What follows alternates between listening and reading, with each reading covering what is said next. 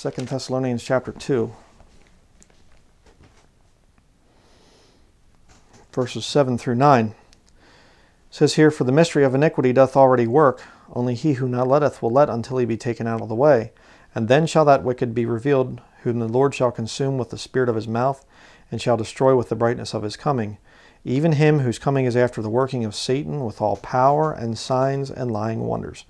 Talking about the Antichrist there. But notice it says, the mystery of iniquity doth already work.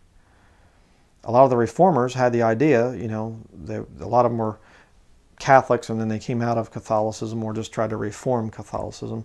Major issues there. But a lot of these reformers, the Protestant reformers, back in the 16th century especially, like Luther and, and uh, some of these other guys, um, they were calling the Pope Antichrist. Now they had the right concept there.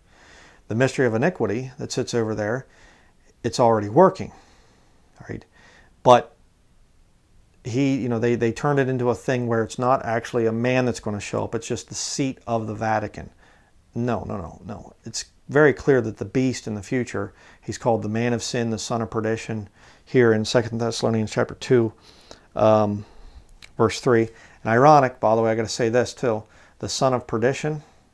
Um, Jesus Christ called Judas Iscariot, you know, that uh, he'll go into perdition and things, and the son of perdition. He gives him the SOP, the SOP, at the you know Last Supper. Very interesting tie in there. But this mystery of iniquity, these this system is already there. It's just waiting for the right guy to come into it. And again, this you know I did a video, I got you know flagged for copyright violation and things like this. But this HBO thing about the young pope, I think it's called, and I mean they're they're clearly it's predictive programming. They're getting people ready for this antichrist to show up. I do believe he's going to be young. I do believe he'll probably be attractive. It could very well be this Emmanuel Macron guy. I don't know. There's speculation. I mean, the guy's younger than I am. It's kind of like, that's weird. Makes me feel really old. you know, the president of France is younger than me. Huh, brother. But, uh, you know, you get a guy like that, you put him in a papal uniform, and you, you know, he's the new pope and things, and I don't know. I tend to think, you know, you say, well, it could be. Well, if if you want my honest opinion, I think that the Antichrist is literally, it's not like he's going to be someplace and then they're just going to make him Pope. I think he hasn't even showed up visibly being seen yet. And I don't think he will until the body of Christ is gone. Um, I, again, I can't be dogmatic. That's just my personal opinion on it. I'm not teaching that as doctrine. It could be Macron. It could be this Kushner or whatever, Kushner whatever, Trump's son-in-law. Jared Kushner or something like this. It could be one of those guys. I have no idea. And you know, you say, well, yeah, but the, they're not popular or whatever. The media can take anybody and turn them into a god overnight. All right, and you make one of them guys the a pope or something like this. Uh, and it's funny too because this young pope, uh, he's the first pope from America. You know, which Kushner would be, you know, Jewish pope from America. And there's a lot of other weird things about that young guy, but the point is, the beast is going to be a man. But he's not going to just go and show up and, and everybody goes, oh, what's he? You know, he's going to be in the papal system. There are kings that are there before him, in other words. Kings wear crowns. Popes wear crowns. If you don't think that the Pope is a king, you're quite foolish. But let's continue. Revelation, go back to Revelation 17.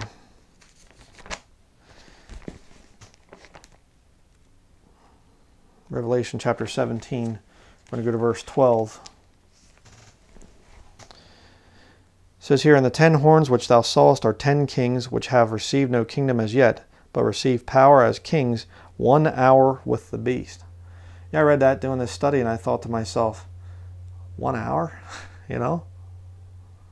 All this political scheming and all this maneuvering and all this, you know, waving, kissing babies and all this other stuff that they do to get into their positions of power, and you get to enjoy your reign for an hour. Boy, that's worth it, you know. Groomed for these positions and everything else. Pretty pathetic. Go back to the book of Job in the Old Testament. I'll show you a good verse. Job chapter 20. Just made me think about this. all this power stuff that's going on, and and uh, you know we got to elect so and so, and we got to get this person in, and they're gonna they're you know lined up to be the next head of the such and such summit meeting, whatever. Stupid. Job chapter 20, verses 4 through 9. Knowest thou not this of old, since man was placed upon earth, that the triumphing of the wicked is short? Like an hour? And the joy of the hypocrite but for a moment. Though his excellency mount up to the heavens, and his head reach unto the clouds, yet he shall perish forever like his own dung. They which have seen him shall say, Where is he?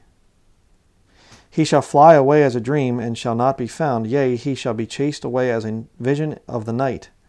The eye also which saw him shall see him no more, neither shall his place any more behold him. Um, give you a, let me ask you a question. 3,000 years ago, who was in charge of Germany? Huh? I have no idea. Yet he shall perish forever like his own dung. Whoever it was, well, I can't tell you who it was. Uh, whoever it is, they're fertilizer now. Isn't that something? I mean, can you tell me, can you name all of the presidents that we've ever had here in America? or your country? Can you name the, the rulers for the last 200 years? Tell me anything about them.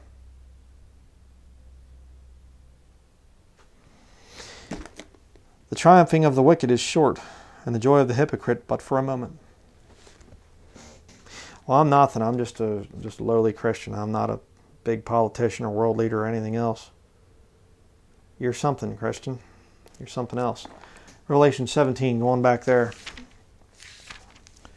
When you realize who you're connected to as a Christian, you're part of the body of Christ. You are a child of the God of the universe when you get saved. You are somebody. You think God's going to care? You think anybody's going to even bat an eyelash when the kings and the queens and the prime ministers and the whatever presidents and whoever comes up at the great white throne judgment before they're cast into the lake of fire forever? Do you think anybody's going to care? think anybody's going to be standing in line there or whatever else and run up, oh, Angela Merkel, can I get your autograph? You know, oh, President Trump, oh, it's such an honor to see you here, sir. Oh, well, Trump, I think is. If you think Trump is saved, you are foolish. Okay? Again, trained at Fordham University. And his two sons, one went to, to Georgetown, I think the other went to Fordham. Jesuits. Just disgust me patterns his apartment after occult themes and things like this. This elaborate apartment, you know, after I forget what the king was, a French king or something like this, that hated Christians and killed Christians. But he's a Christian. Adultering, fornicating, wicked man, made a lot of his money from casinos and things like this. But oh, I think he's a Christian because he holds up the Bible. I found it interesting that his, his little trophy wife came out here, Melania or whatever else, and she's admitted that she is a devout Roman Catholic. What a surprise. But let's continue. Verse 13 and 14 says here, These have one mind and shall give their power and strength unto the beast. Let me ask you a question real quick there before we continue to verse 14. How can 10 different kings have one mind? Uh, well, they can do it if they're all subservient to Rome to Roman Catholicism. You see, when you're a Catholic, again, you have to understand this. I got to go into this thing. Some of you might not have heard me talk about this before. There are two swords that the Vatican believes that they control. All right, they believe that they control the spiritual and the temporal. Right? those are the two swords of Roman Catholicism. The spiritual is they control the church. All religions are to be subjected to Roman Catholicism. And if you say, I don't bow to Rome, then they will call you a heretic and read church history, yeah, and you'll find out what they did to heretics.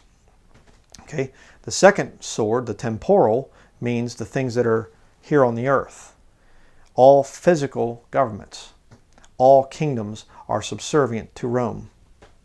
And if they don't uh, submit themselves to the Vatican, there will be there will be a, a regime change or a war or a military coup or something like that. You step out of line, whack, down you go. All right. So anytime you have a Roman Catholic, those Roman Catholics, they can be a German, but if they're Roman Catholic, their loyalty is first to the Vatican. American, loyalty first to the Vatican. British, uh, French, Spanish, whatever, loyalty first to the Roman Catholic Church. You are a citizen of Rome first and then whatever your country is. So that's how you can have these have one mind. Ten kings in the future, they'll have one mind, and it's a Catholic mind. Verse 14 These shall make war with the Lamb, and the Lamb shall overcome them, for he is Lord of lords and King of kings, and they that are with him are called and chosen and faithful. Very, very, very interesting thing there. Let's go to Revelation 19.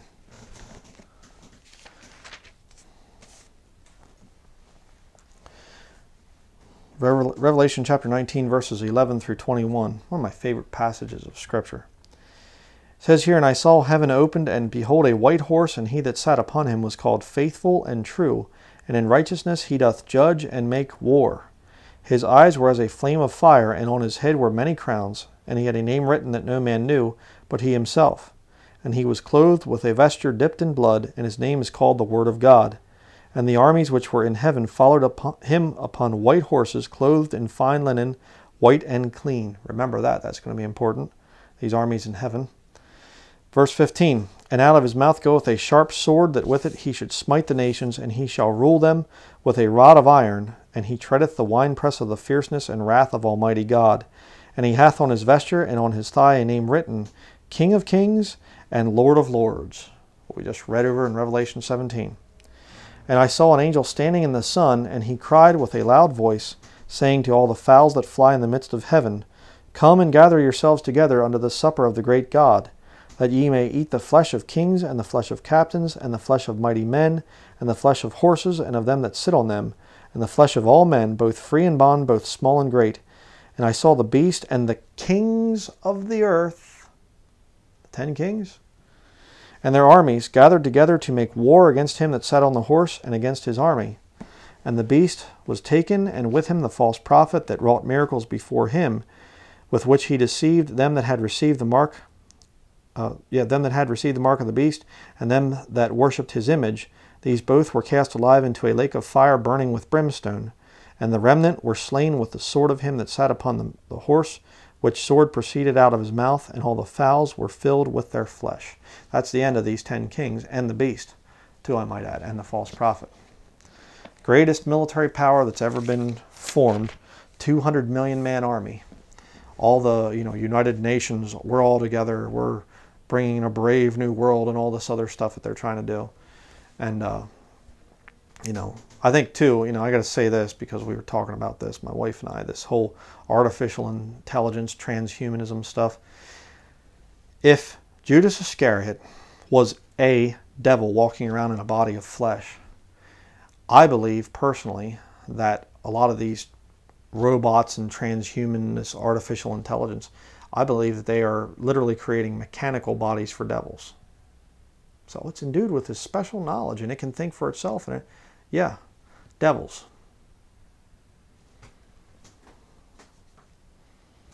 Interesting. But let's look at this key thing here in Revelation chapter 17, verse 14. You see three things called, chosen, and faithful. Ironically, you have in Romans chapter 12, there is the good and acceptable and perfect will of God. Three parts to it called, chosen, faithful. Let's see about each one. Acts chapter 11. Sometimes my my uh, brain works quicker than my mouth, I think, or something. like uh, getting ahead of myself here. I was going to say something. I had to catch myself. Acts chapter 11, verse 26. And when he had found him, he brought him unto Antioch. And it came to pass that a whole year they assembled themselves with the church and taught much people. And the disciples were called Christians first in Antioch. I have a question for you, Christian. Do people call you a Christian? Can they tell? Friends, neighbors, coworkers, family? Do they say, oh, he's one of those Christians? Or do you blend in with the world? Notice they didn't call themselves, the disciples didn't call themselves Christians. It says there in the text, the disciples were called Christians first in Antioch.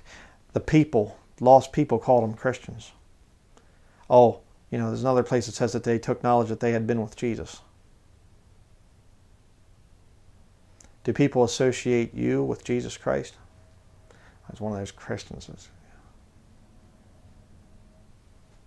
If you're saved, you ought to be called a Christian by the lost world. Pretty important. 1 Corinthians chapter 1.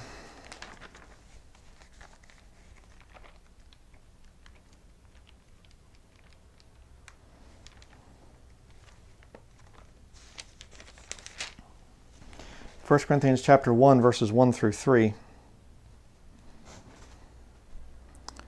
says here, Paul called to be an apostle of Jesus Christ through the will of God, and Sosthenes our brother, unto the church of God which is at Corinth, to them that are sanctified in Christ Jesus, called to be saints, with all that in every place call upon the name of Jesus Christ our Lord, both theirs and ours. Call upon the name of Jesus Christ. That's for the Jews in the time of Jacob's trouble. Romans 10 isn't for you. It's so simple. I mean, you know, you come, you say, "I need to be saved." God, please. Oh, no, don't do that. Don't don't call upon Him. You know, that's work salvation. You know, like crazy, crazy bunch of stupid nonsense. Call upon Him. You're not you're not saved. Call upon the Lord. Okay. Believe what He did for, for you on the cross, and call upon Him. Get saved. Verse 3 Grace be unto you and peace from God our Father and from the Lord Jesus Christ. So, again, you're called. When He saves you, He says, okay, you're called to be saints. He, uh, when He calls you, He says, okay, I'm going to do some things with your life now. Called to be saints. He's going to change your life. It's positive, you know. It's a good thing you come to the Lord as a sinner, and you and He says, "Oh, sure, yeah, you're in." You say, well, uh, can I have some help with this life that I'm living? Oh, well, I don't know. I guess I could. Again, these false gospels. I mean, when you, I mean, you get into all these little debates of Scripture, and you step back occasionally. I'm going to be redoing one of my old sermons I did many years ago called "Milk, Milk versus Meat." Uh, I don't think a lot of people get that study. It's a, it's an extremely important one. And in that study, I talked about the only way that you can eat spiritual meat in Scripture, very hard doctrine, that's what is meat in Scripture, is if you wash it down with milk, the milk of the Word, that you get as a newborn baby Christian. Or young, you know, children and things like this. They can look at the Bible, they go, mm, I understand Jesus died for my sins and I should pray to him and ask him to save me. You know, they just read it. Well, yeah, it's for me, you know they look and they say, you know, in the future, do you think God's going to put us through his judgment and wrath, or do you think he's going to catch us away before his wrath falls on the earth? Well, he'd take us out of here, wouldn't he? He loves me, doesn't he? Well, sure, he'd take me out. It's milk. Easy. But, you know, I'm going to redo that study because I need to. You know, the thing of milk versus meat. Washing meat down with milk. You can't ever have milk or meat without milk. You're going to choke. But I'll I'll get to doing that. But Jude chapter 1, verses 14 and 15. Check this out. And Enoch also, the seventh from Adam, prophesied of these, saying, Behold, Lord cometh with ten thousands of his saints. What do we just read over in Colossians, or 1 Corinthians chapter 1? We're called to be saints. Verse 15 to execute judgment upon all, and to convince all that are ungodly among them of all their ungodly deeds which they have ungodly committed, and of all their hard speeches which ungodly sinners have spoken against him. Hmm. The people that are drunk, the people don't want to hear the gospel, those ungodly people, They speak against Jesus Christ. And guess what, Christian? When you get saved, you're called. You made it to the first step as a Christian. You're called. And if you follow through with your life as a Christian, you're going to be coming back down to judge these wicked people. Kind of gives a new thought to witnessing to the lost world and to talking to people about the Bible and, and, and just making videos and doing what you can. Again, you know, I've, I'm having a conversation with a sister and things, and I've been through this with other people. They say, you know, I'm just not the best one on one, just walking up to people, hello, how are you doing today? And striking up a conversation and getting into salvation. Some people are not called into that. That's the job of an evangelist. Some people are very evangelistic and they can, they can do great. There are others that are teachers and preachers and, and other gifts and things like that. You don't have to feel bad because you're not some expert evangelist. But when you do have an opportunity, don't think to yourself, hey, I'm going to fail at this. What a, oh, I probably said something wrong. You can't fail, right? When you're when you're serving the Lord like that. I mean, there's so many subjects I, I could be going off on rabbit trails. I'm trying to keep this, but you see, we're called to be saints. Saints come back with Jesus Christ, like we're reading in Revelation 17. Now go to chosen. We're going to talk about chosen. 1 Corinthians chapter 1. Back to 1 Corinthians chapter 1. So you get called when you're saved. He calls you to be a saint. We just read about it in 1 Corinthians chapter 1. But now let's look at uh, 1 Corinthians chapter 1, beginning, beginning in verse 26. For ye see your calling, brethren, called, how that not many uh, wise men after the flesh, not many mighty, not many noble are called, but God hath chosen the foolish things of the world to confound the wise, and God hath chosen the weak things of the world to confound the things which are mighty, and base things of the world, and things which are despised hath God chosen, yea, and things which are not, to bring to naught things that are, that no flesh should glory in his presence. So God will save anybody. He'll save a sinner. Doesn't matter what your past is or what you've done or whatever else. God will save you. All right. So you're called. But the chosen thing is a different story. God won't just choose anybody and say, "Oh yeah, you're you know you got some pride issues there, and you got some other sins that you're dealing with as a new Christian. Um, come on, you're just gonna I'll use you for ministry." No, He uh, says there He has chosen the foolish things of the world to confound the wise, and the weak things of the world to confound the things which are mighty, and base things of the world, and things which are despised hath God chosen. All right, and you know the things which are not to bring to naught the things that are. God will choose you if you're in a weak situation. So you're called as a Christian, but then it kind of goes down to another group or, or, up, if you want to say that, where it's called and then it says, okay, there's even less that are chosen. And of those that are chosen for doing something for the Lord, you go on to the next one, which is faithful. We'll go in there in just a minute, but I want to show you another tie into the thing of chosen. 2 Timothy chapter 2.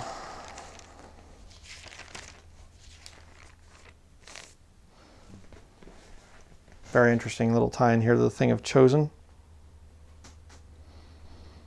And remember what we're talking about Revelation chapter 17, verse uh, 14, where it talks about, you know, King of Kings, Lord of Lords, Jesus Christ comes back, and those that are with him are called and chosen and faithful.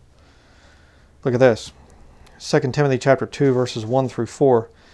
Thou therefore, my son, be strong in the grace that is in Christ Jesus, and the things that thou hast heard of me among many witnesses, the same commit thou to faithful men. See about faithful here in a couple minutes, who shall be able to teach others also. Thou therefore endure hardness as a good soldier of Jesus Christ.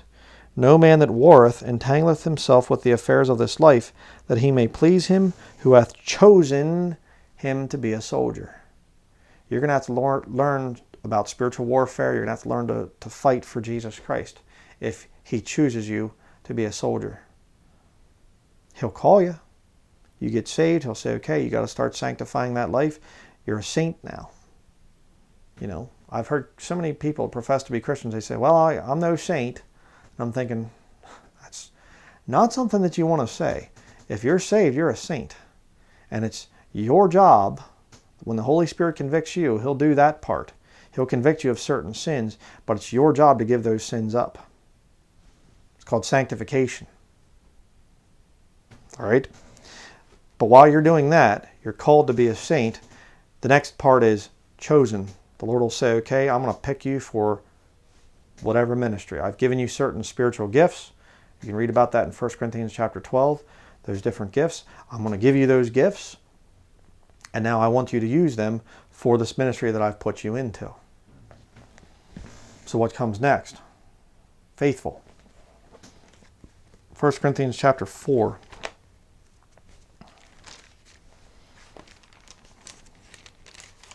First Corinthians chapter 4 verses 1 through 2. It says here, Let a man so account of us as of the ministers of Christ and stewards of the mysteries of God. Talked about that, the mysteries. You can watch my study on the different mysteries. Verse 2 Moreover, it is required in stewards that a man be found faithful, not successful, not popular, not whatever. Faithful. You know, it's really sad to me, and I've talked about this before, but it's really, really sad to me that a lot of the brethren that I once thought were decent whatever else, they've proved themselves to not be faithful. At one point in time, I could say, yeah, they were called, and I could see there was that choosing of God that He put them in, and He was doing things through that, you know, person, a man or woman or whatever else. I'd see both, you know, doing things for the Lord on YouTube or in, in ministries and things. But all of a sudden, they start to go off and they go back to the world. They're not faithful.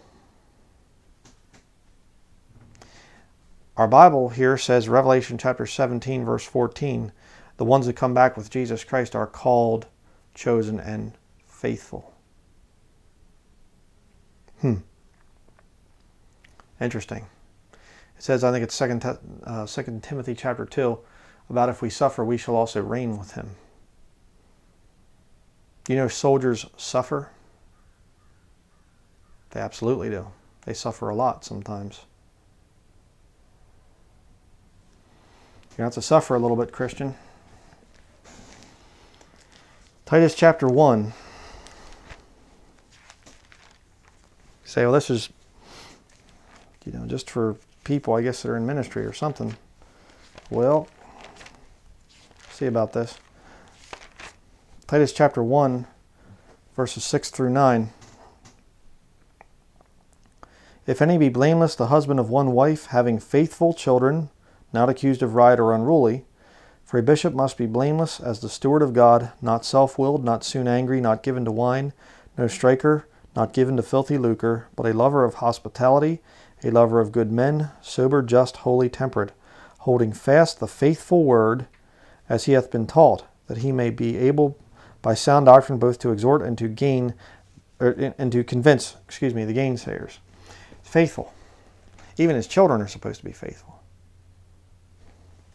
Show you another verse that's interesting here. 1 Timothy chapter 3 and verse 11. Speaking of faithful here. 1 Timothy 3:11 says, "Even so must their wives be grave, not slanderers, sober, faithful in all things." Interesting. What do we read at the very beginning of this study?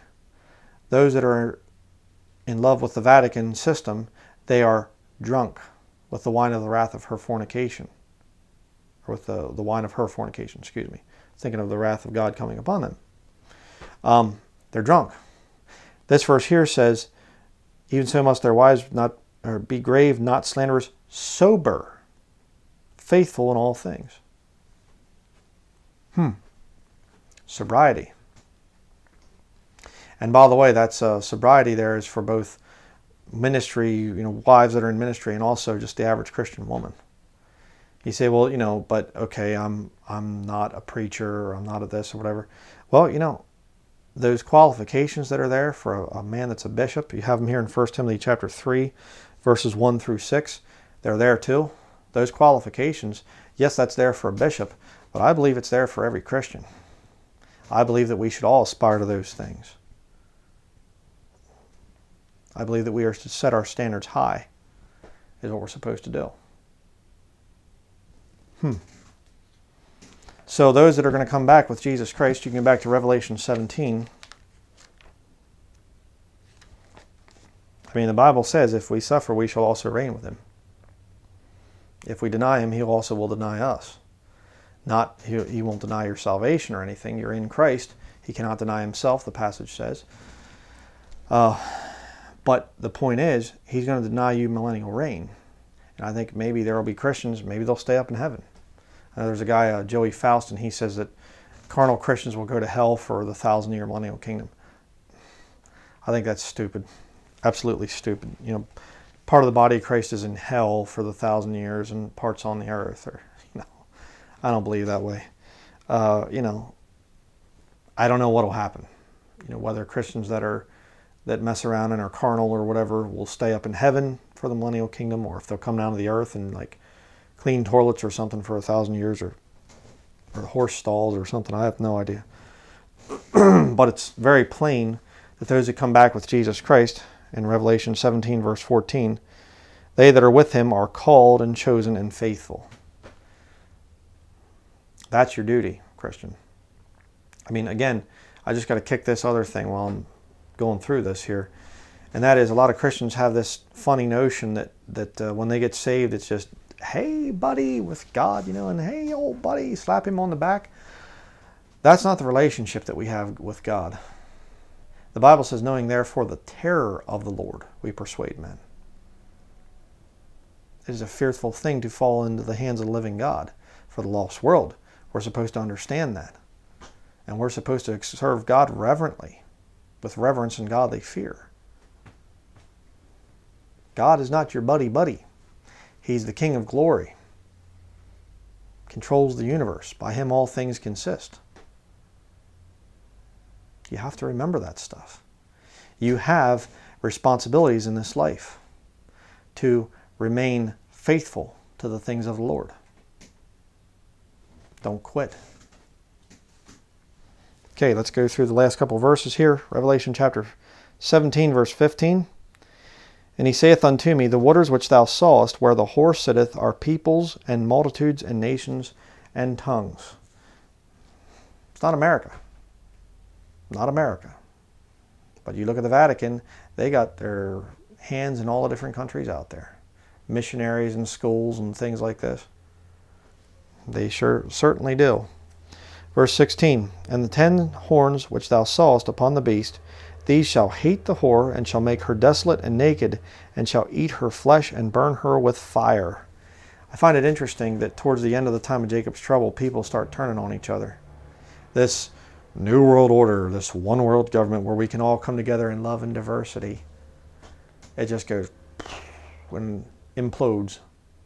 The whole thing just falls apart.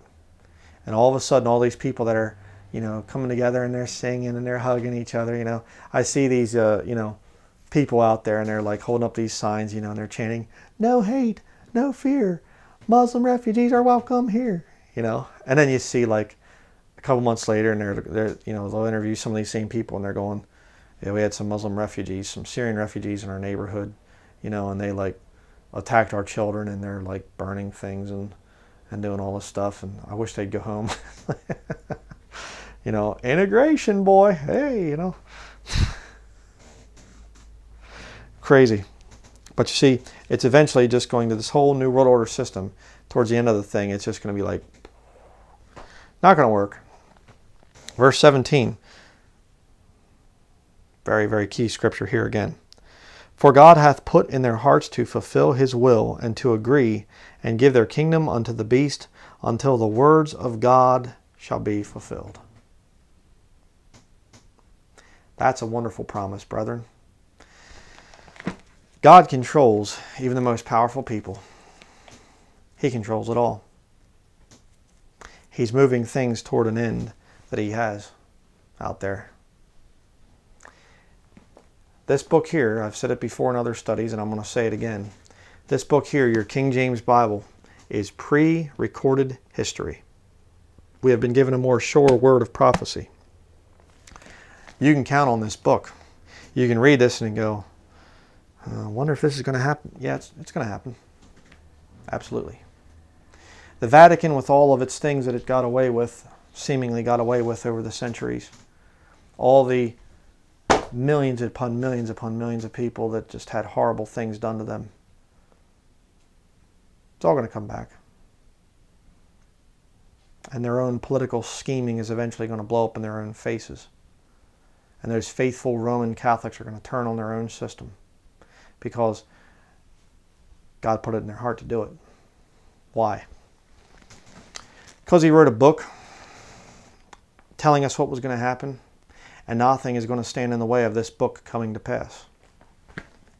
You know, for my enemies out there that really hate me, uh, you can put a bullet in my head. You can kill me, you can kill my wife, you can kill my son, whatever else. The book's still going to happen. You can come, you can take every Bible out of this library here, out of my collection. You can take this Bible out of my dead hands. It's the only way you're going to get it. You can take my Bible from me. You can burn all the Bibles, every King James Bible you can find. It's still going to come to pass. And you'll never burn them all. Little Jesuit jerks, they understand that. They know that. They hate this book. Pre recorded history, brethren. It's going to come to pass. Let's finish up with the last verse. And the woman which thou sawest is that great city which reigneth over the kings of the earth. The Vatican, Rome. That's the city. They're the ones that control things. And all these liars, they come out and they say, well, it's America, it's America. So that when America falls as a country, when the economy finally collapses, they can say, see, Babylon has fallen. Hey, it's all over. The Catholic Church is still in power. Well, yeah, but they're not Babylon. Babylon was America. They're liars, they're deceivers. Let's close with a word of prayer. Dear Heavenly Father, I pray that uh, if there's anyone out there that's not saved yet, that you would just go out there and just shake them to pieces, Lord. Do whatever you have to do to put your fear upon them. Uh, help them to know the terror of the Lord. What's coming to this earth is going to be so horrible so fearful, Lord. I just pray that they would wake up out of their slumber and get saved. And for those that are saved, Lord, that have listened to this whole study, I pray that they would be challenged and have the confidence that your word inspires and uh, know that these things that are written, um, they are going to come to pass. We have a more sure word of prophecy. We don't have to worry about the future and think, I wonder, I wonder if this happens or that it's all under your, under your control, Lord. And I pray that you would give each of us chances to stand up for you and for your word. And uh, just help us, Lord, in this very wicked time, not to become drunk with the wine that is uh, created by the Vatican, with all the political scheming and all the Hollywood and all the covetousness that we're subjected to, Lord, that we would not um, fall for that stuff. I just really do pray all these things in the name of our Lord and Savior Jesus Christ. Amen. You know, I just want people to understand something. There's a concept in both the secular world and in the Bible. Secular world takes it from the Bible. They just don't give the Lord credit for such things. But that uh, concept is Jeremiah chapter 6, verse 16. Thus saith the Lord, Stand ye in the ways and see and ask for the old paths. Where is the good way? and walk therein, and ye shall find rest for your souls. But they said, We will not walk therein. When things start to get out of control and you start to see all this high tech world government stuff and all these other bad things coming in, you know what you do? Ask for the old paths. How did people live in the past? Before the grocery stores, before cell phones before cars, before all of this stuff. Well, you just have to have your job because you got bills to pay. And you have to do this and you have to do that because it's so important. Come out of the mind control. I'm not telling you to live out in some out in the woods and you know in a in a tent or something. I'm not saying to do that. I'm not telling you that, that that's what you should do or something. I'm not saying that. But what I'm saying is don't let those things control you. Don't, don't let those things take you away from serving the Lord. They make you weak. You know, there have been many times when I've thought I have a job to do or something like that, and, you know, I go out and I'm like, oh, I got to dig out this one area here or something, and I'm like, oh boy, I'm gonna have to rent some kind of backhoe or some kind of thing. And the thought occurs to me, you got a shovel, you got a pickaxe. I can't dig all that. What did people do in the past? And you know what? In my stubbornness, sometimes I've gone against that good sense, the Jeremiah 6:16 sense, we'll call it that. I've gone against that thing and I've said, ah, I don't have time to do it the other way. I've gotten machines different times. I've rented machines, bought machines, things like this to do a job, some kind of construction job, and the thing ends up breaking down or whatever, whatever, and I, I get to the end of that thing, I look back and I think, you know what? It would have been quicker for me to do it with a shovel. Just incredible. God can take care of you, brethren. And I've seen that thing. I've seen how the Lord can provide for people. And uh, I don't know how much longer we have to go. I mean, I just, I keep looking at this world going, how can it go another week? just like it's really getting wild. Uh, but we could still be here for a few years. I don't know. I don't know. Uh, the only way that you're going to make it, the only way that you're going to remain faithful, is stay in this book, this King James Bible. Don't you dare put this thing down. The faithful word that's been committed to you, you keep that. That's your most precious possession is right here. I see all the time floods and fires and things, people's homes being destroyed, and I think, they're like, oh, we lost everything. And I thought, well, if that ever comes here, if I ever have to go through that, I'm not losing everything because I'm going to take this with me. This is more important than money. This is more important than anything that you have. It's the book. King James Video Ministries is this ministry. I've been in this for 10 years now, and I still say the same thing. It's the Bible. It's all about this King James Bible. It's the most important possession that you have. So that is going to be it. Just want to thank everybody for your prayers. Thank you for watching. And uh, I guess we'll see you in the next study.